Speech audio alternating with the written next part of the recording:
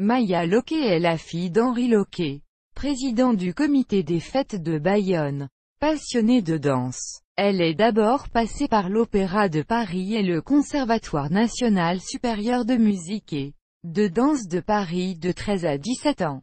Finalement, elle s'oriente vers sa deuxième passion, le journalisme. À 18 ans, elle commence à travailler pour le quotidien régional Sud-Ouest ainsi que pour des magazines de danse tout en préparant un DUG en lettres modernes. Son diplôme en poche, elle entre en licence à l'Institut français de presse en 2000. Mais à la suite d'un stage de trois mois à Infosport, elle décroche un poste et ne se présente pas aux examens.